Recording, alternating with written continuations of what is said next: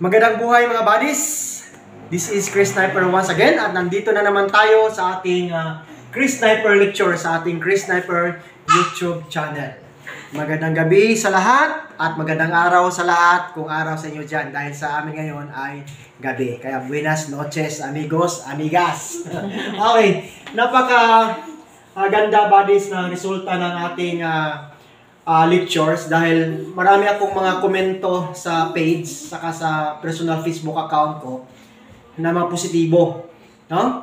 So, kaya ginaganahan ako mag-lecture dahil mayroon talagang nagsubaybay at mayroon sila natutunan. So, I'm very happy for that. No? Yan din ang purpose natin bakit gumawa tayo ng lectures.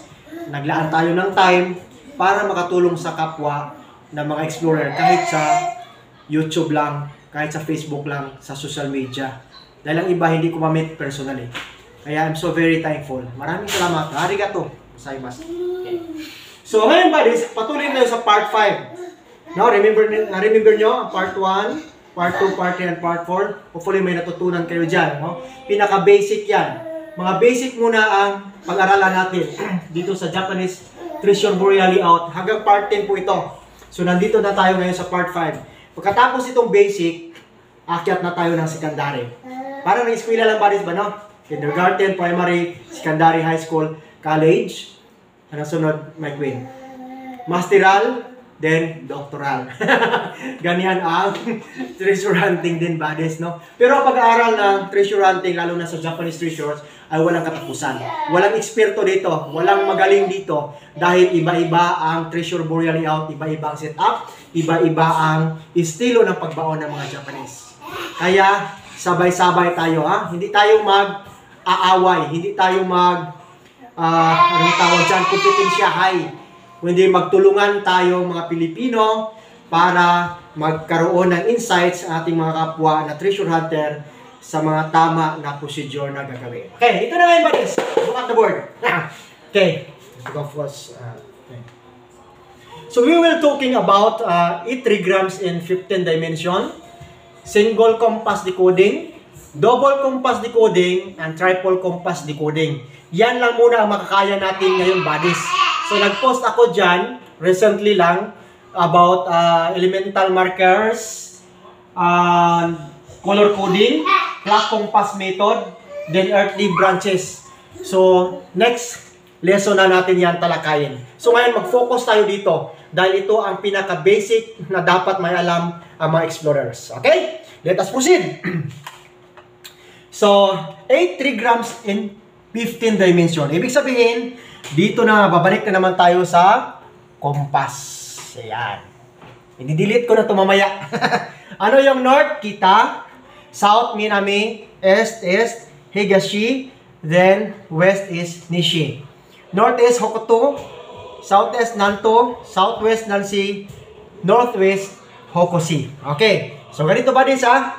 Ito ang tinatawag natin na et trigram sa Romaji sa kanji sa Japanese. Okay, let us continue buddies. So ngayon gagawa tayo ng uh, illustration. So pag-usapan natin una ito, ang tinatawag na 8 trigrams in 15 dimension. Ano ang trigrams? No? Bakit mayroong 15 dimension? Okay, ngayon, gagawa tayo ng illustration dito.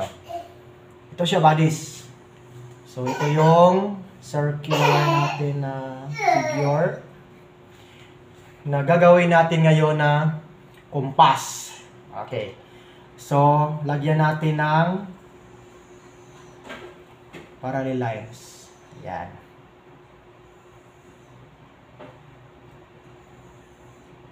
Yan na, no? So, dito ano? North, South, East, West. Dito ang northeast. Dito ang northwest. Dito ang southeast. At dito ang southwest. Okay. So ito ang tinatawag natin na isa, dalawa, tatlo, apat, lima, anim, pito, walo. 8 CD. Okay, dito muna sa baba. 8 CD. Ano yung CD? Hindi yung desk, deskit na ano ano yan. Compass. Direksyon. Okay? Sa Binisaya pa bay, mauni siya ang walo ka kumpas direksyon. Mauni pinaka-basic. Ayaw sa mo dito sa unahan kay kung di mo kay baluan ni maglibog mo. So kinahanglan may knowledge tayo nito sa 8 CD or 8 compass direction. Ano ang 8 compass direction? North, northeast, east, southeast, south, southwest, west, then northwest. Ba? So ito ang tinatawag na direksyon. Norte, north, northeast, east, southeast, south, southwest, west, northwest. Okay. Ano ang trigram? Ang trigram is the numeric conversion of the compass direction. Ang north is equivalent to 1. Northeast is 8. East is 3. Southeast is 4. South is 9. Southwest is 2. West is 7. The northwest is 6. Yan tinatawag natin na code 1, code 8, code 3, code 4, code 9, code 2, code 7, code 6. Yan ang trigram. So ito ang tinatawag na trigrams. 8 trigrams. Walo. Bakit walo hindi siyam? May 9 man. Bakit? Dahil ganito siya badis. Dito sa gitna, ito ang tinatawag natin na code 5 or code uh, balancer code. Ang east is 3. Ang west is 7. South 9. North 1. Ito, 8. Diba? Northwest is 6. Ito, 2, 4. Okay. Ilipat natin dyan sa mga blocks para mas madali intindihan. Okay. North 1, South 9, East is 3, West is 7, Northeast is 8, Northwest is 6, Southeast is 4, then Southwest is 2. Okay? Understood, buddies? Delete na natin to, no? Diyan na siya eh. Yan ang tinatawag natin na 8 trigrams. Numeric siya. Okay. So ngayon, bakit may 15 dimension? Ito ang mangyayari, buddies. Okay. Ganito siya. Tingnan natin. Yan. Ah... tinatawag natin to itong east-west alignment, mga EB, no? Ano yung EB? Alignment and bearing. So, let's talk about alignment lang.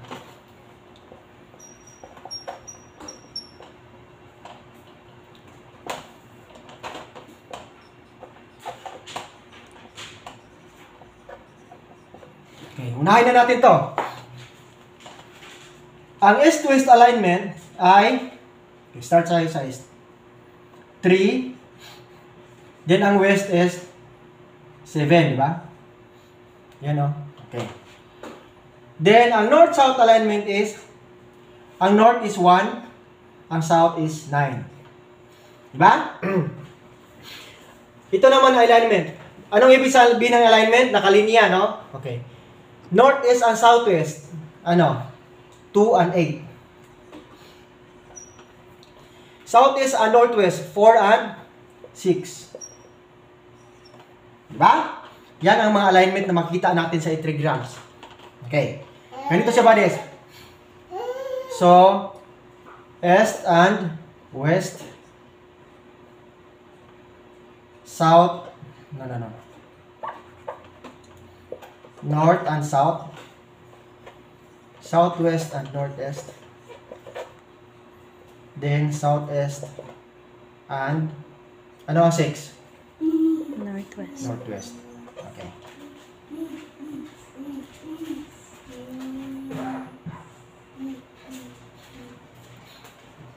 Napansin nyo, itong apat na alignment, kung i-add natin, yan siya ba sa, lagyan natin yung addition. 7 plus 3 equals 10. 1 plus 9 equals 10. 2 plus 8 equals 10. 4 plus 6 equals 10. Okay. So, 10, 10, 10, 10. Apat na 10. Apat na alignment na is equals to 10 lahat. Magkaroon lang tayo ng 15 dimension kung i-add natin ang 5. Okay. Plus 5 to centering or lock or separator plus 5 plus 5 plus 5. So equals 15. Yang tinatawag natin na 15 dimension. Kaya napaka-importante ito sa application na sa remapping.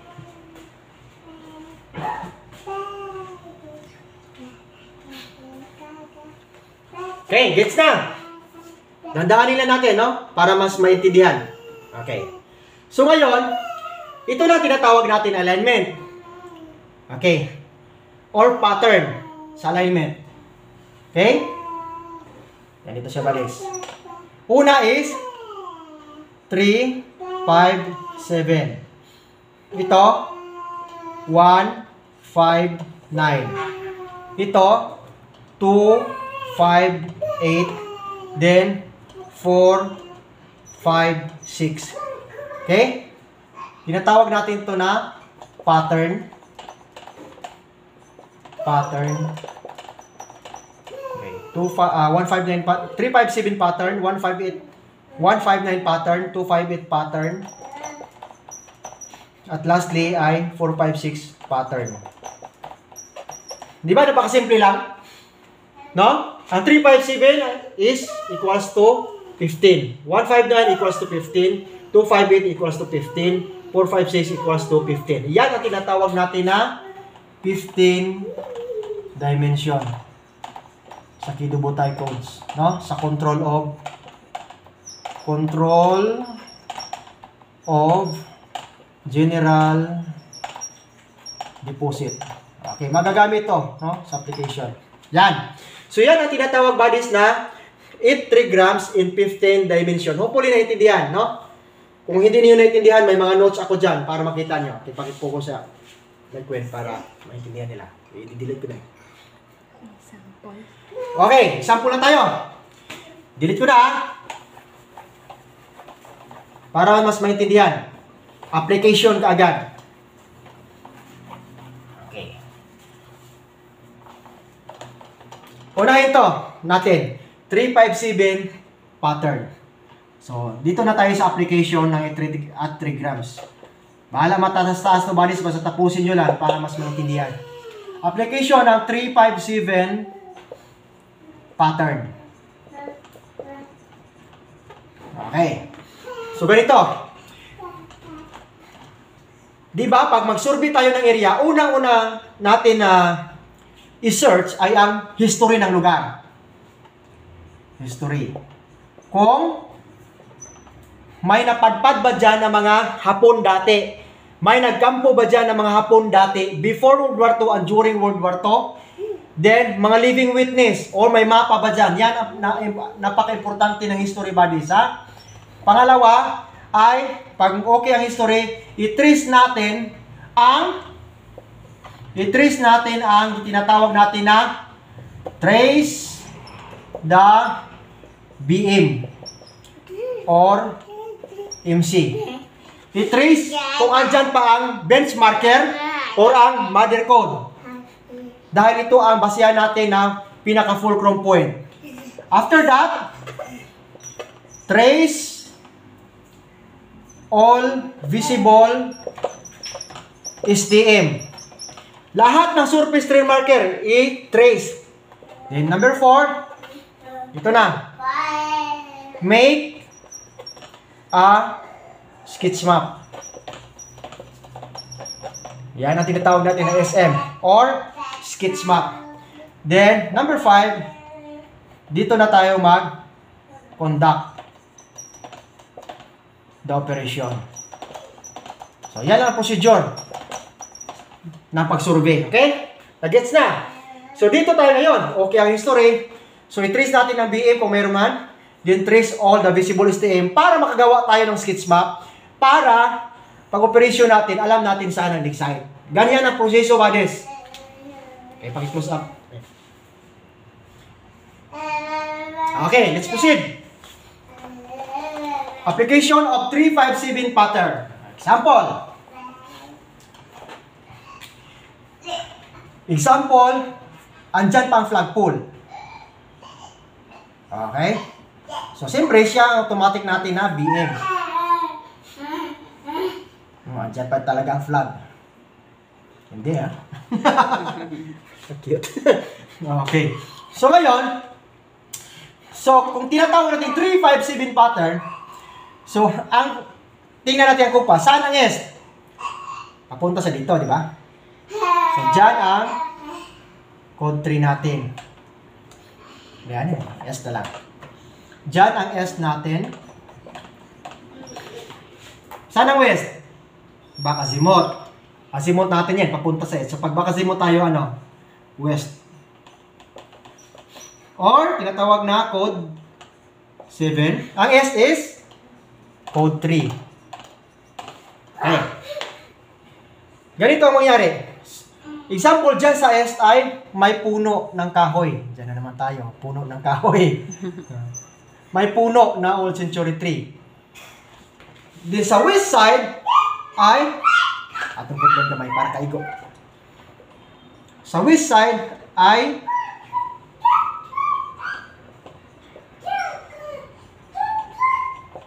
andyan ang bato na hugis metal element. Okay. Itong tinatawag natin na big boulder marker or BBM. Hindi talaga siya magalaw.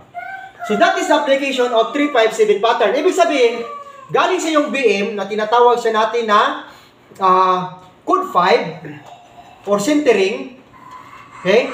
Code 5, center, pang centering, uh, pang separator, or pang block. Okay? Okay. So, ibig sabihin, ang pattern muna ngayon ay ito na. 357 pattern. Saan mo kinuha? Code 3, code 5, at code 7. So, magsimula tayo sa smallest numeral na 3. Na? 3, 5, 7. So, likwaot mo po kayo, bahay mo yung 753, di ba? so, 3, 5, 7. 3, 5, 5, 7 pattern. Gets, Bares? Okay. Takpakan mo na. Bansay! so, hopefully, naintindihan nyo. Yan ang application of 357 pattern. Okay. Isa lang yan. Example na. So, pag andyan na, dyan na natin hagilapin saan ang dig site. Pero, hindi muna natin pag-usapan niya ngayon. Pinag-usapan pa natin ang triggers at ang mga pattern. So, ang pag-trace ng mga dig site, malayo-layo pa tayo. No? Malayo pa na topic yan. Okay, delete ko na. Okay. Application of 159 pattern. Okay, siyempre, 159 tayo. 159. Ano tong 159? North, center, at south.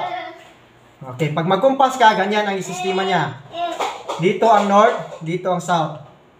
Dito ang center. Okay. So, 159 is 1, 5, 9. Di ba? Align na siya. Oh. Okay. Delete, delete. So, ganito.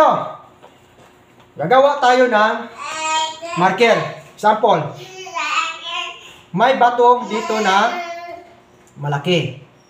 Okay. Siyempre, siya, siya ang gagawin natin na mother code or BM. So, sa norte tayo. Sa norte, mayroong ano makita natin sa norte? Mayroon siyang limang bato. 3, 4, 5. Nagpundok. Okay, yan ang north. Sa south naman, dito sa south, makikita mo ang tinatawag natin na fire element.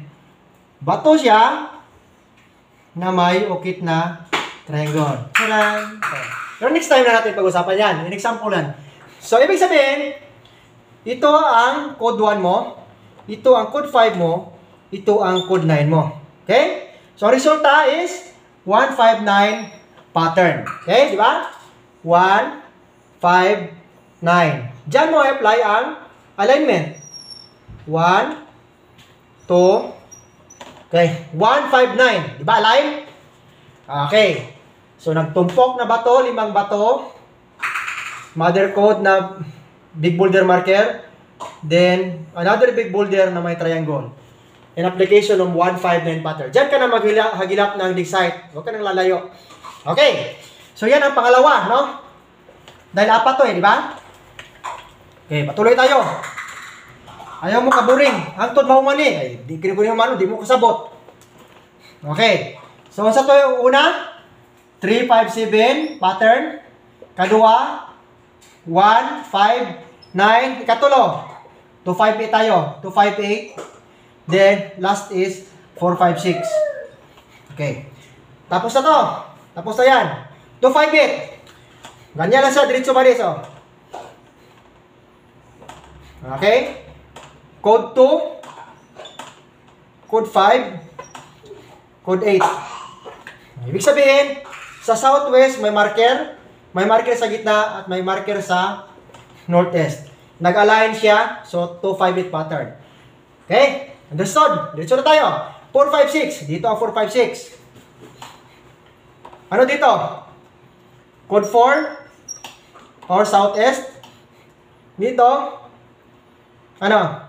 6. 6. Right? or northwest. Ito yung tinatawag natin na 4, 5, 6 pattern. You know? Okay? Understood? Northwest. Hmm? Northwest.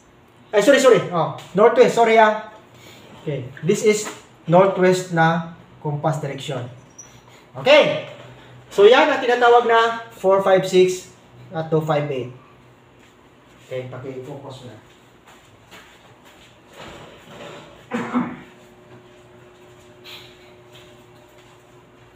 Okay? Gets na? So, ibig sabihin, ang alignment na ito, dyan lang maghagilap, no? Hindi ka nalalayo dyan. Dahil lock point at to lock point. Or either, continuing siya dito. Or continuing din siya doon. Or continuing din doon ang load. Or doon ang load. Lalabas siya ang load. Step out tayo. Or step in, papasok ang load. Okay? So, dyan na natin i-apply. May trigger ako diyan, yung swastika code. Makikita nyo dyan. Okay. Gets na? Delete natin balis. So, yan ang tinatawag natin na 8 trigrams or 8 bearings or 8, 8 compass direction, I mean, in 15 dimension. Equals 15 to siya lahat. Ilang pattern? 4 patterns. Okay, may apat na patterns. 3, 5, 7, ulitin ko. 1, 5, 9, 2, 5, 8. 2, 5, 8, 4, 5, 6. at 4, 5, 6. Okay? Remember, 5 is always the center. 5,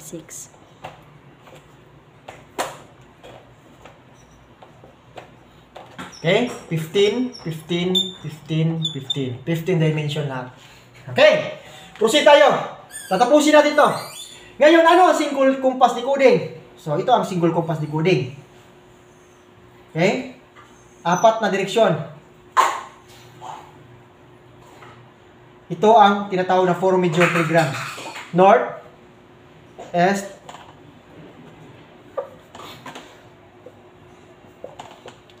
South, West. Ba? Isa, dalawa, tatlo, apat. Para maging walo, kukuha tayo ng quadrant bearing. Ano to tawag, buddies? Quadrant bearing na 45 degrees. So, tinatawag na natin to na northeast, northwest,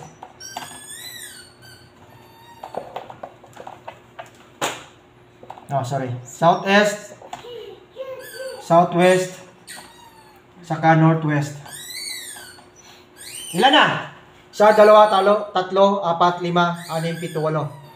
Yan ang tinatawag natin na single compass decoding. Walong direksyon o tinatawag natin yan na delete ko na to dito ha. Tinatawag natin ang single compass decoding na 8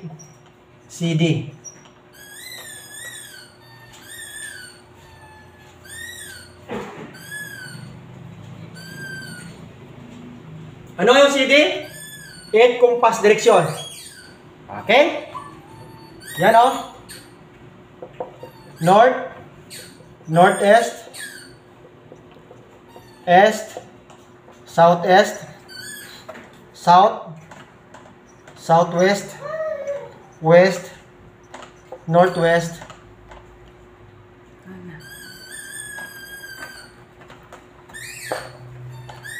west, then last northwest. Walo. Isa, dalawa, tatlo, apat, lima, anim, pito, walo. Yan ang single compass. Walo lang na direksyon. Kaya ito ang pinaka-primary. Pagdating mo sa field, sample, pagdating mo sa area, may bundok dyan. Okay. May puno dyan. May creek dyan. Hmm. Nakita ka na dyan ng malaking bato. Hmm. Pwede mo gagawing marker. So, alam mo na. Anong gagawin mo dyan sa site? So, gagawa ka ng 80 grams yan. Ba? So, alam mo na. 26. Alam mo na saan ang north? Diyan. South, east, west. Di ba? Apply mo agad. Northeast. Dito. Southwest. Ito. Southeast. Dito. Northwest. Northwest. Gets? Okay. Bilisan natin. Okay. So, ma-apply mo siya dyan mismo sa site. Okay. Gets na. Proceed tayo, buddies. Ngayon, double compass. Ito nang natatawa ko sa iba. Ano yung double compass, sir? Dalawang compass? Pambira, hindi. Double compass decoding means 16 compass direction. 8 plus 8 equals 16. Dodoblihin mo. Okay? Kaya, pag hindi mo alam ang 8 compass direction, malilito ka na sa double compass. Mayroong mga treasure boolean layout na gumagamit ng 16 compass directions or double compass. Ano yon? Diretso na tayo sa illustration. Alam mo tong 45 degrees? Hihiwain mo pa yan ang 45 from north to northeast, hiwain mo pa yan ang pizza pie na yan. Hiwain mo din dito. Ba? Ang tawag niyan is north, northeast. Dito. East, northeast. Gets? Dito tayo. Hiwain mo yan. Hiwain mo yan. Okay. East, southeast, south, southeast. Di muna natin lagyan ng mga degrees ha, para di kayo maguluhan. Mga direksyon muna. Dito. South, southwest, west, southwest. Dito. West, northwest, saka dito, north, northwest. Okay, bilangin natin. Isa, from north ha, dito tayo mag-start. Isa, dalawa, tatlo, apat, lima, anim, pito, walo, siyam, sampo. 11, 12, 13, 14, 15, 16. Ilan? 16 compass direction. Okay? So, ibig sabihin, this is size bodies, this is size ang tandaan mo. Ibig sabihin, pag may quadrant ka na sa remapping, pag ganito ang rini-remap mo, in quadrant lang, okay? Ngayon, may kahoy dyan sa northeast, titira ka, may bato dito sa north-northeast, tirahin mo pa. May bato din dito sa east-northeast, i-align mo pa. Okay? Tapos gagawa ka pa ng alignment dyan. Gagawa ka pa ng alignment dyan. Gagawa ka pa ng alignment dyan. Di magulo? Okay. Kaya i-master ang it, compass direction ng single compass. Kaya huwag kayong magmadali dito sa double compass. Unahin ang basic. Maraming kumukopya eh. Hindi nyo alam it, Naglisod gani mo sa 8 compass direction, ngadto na nung kamo sa 16 compass direction or double compass. Samot na ang triple compass, itong tinatawag natin na 32 compass direction. Okay? Ibig sabihin yan, 32. So mag-add ka naman ng another 16. No? Okay. Ito, alam mo yan, nahiwa yan? Hiwain mo pa yan. Oh, hiwain mo yan. Hiwain mo yan. Ana. Oh. Ito ang tinatawag natin na triple compass, buddies. Dili kay tulo ka mo compass. Ayaw mo pagkuan. Paghimog libog. Mao ni ang ang Maura niya ang pangalan triple compass pero dili tulo ka bukas. Triple compass ni kuning master dito 3 grams. Bilangin natin. Kulang ang isa. From north. Asan? Kana san kana kana. 1, 2, 3, 4, 5, 6, 7, 8, 9, 10, 11, 12, 13, 14, 15, 16, 17, 18, 19, 20, 21, 22, 23, 24, 25, 26, 27, 28, 29, 30, 31, 32. O, last. Di ba? 32? Tama ko sa'yo. Tama, di ba? Okay. Joke lang ba? Sakto ko. Sakto ang aton leksyon sa triple compass decoding. So, yan siya. Okay, pag-focus mo na.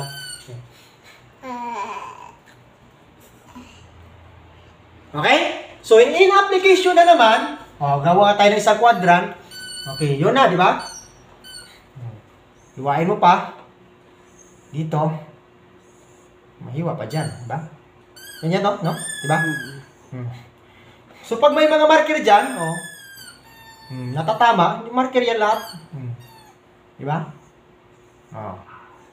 Oh. Diyan ka na makagawa ng sketch map. Dahil ikukunik mo yan lahat. Yung kaya kung titingnan mo, pag triple compass na ginagamit, ang gulo na niyan. No? Hmm.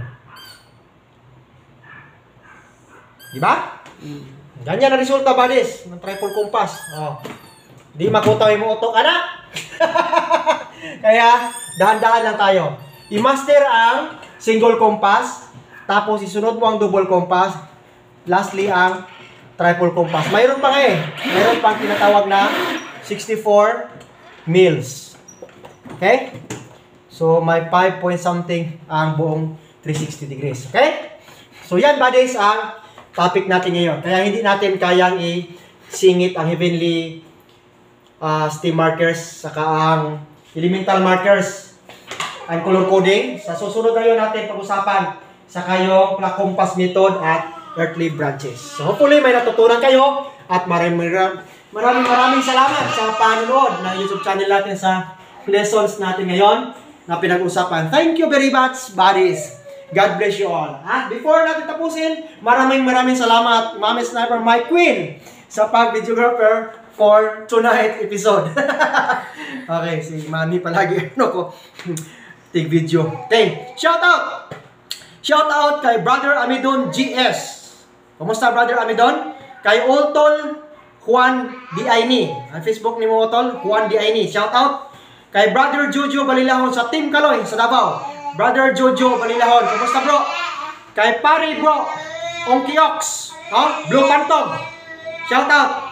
Shout out kay Black Onyx, kay brother Nathaniel, pare bro Nathaniel. Sa Team Treasure Hitter sa Malaybalay City. Kay Boyet, Pong Plong Plong, Kay Cole Isan o kay Gilbert. Yan, pina-shout out ni pare Onky Ox.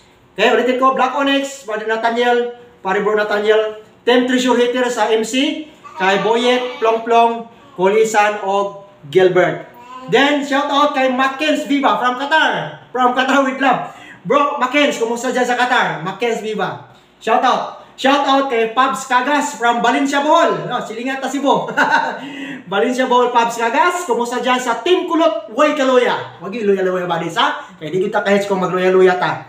Okay, yun lang ba shout out natin. Siyempre sa mga kumpare ko, kay Black Phantom.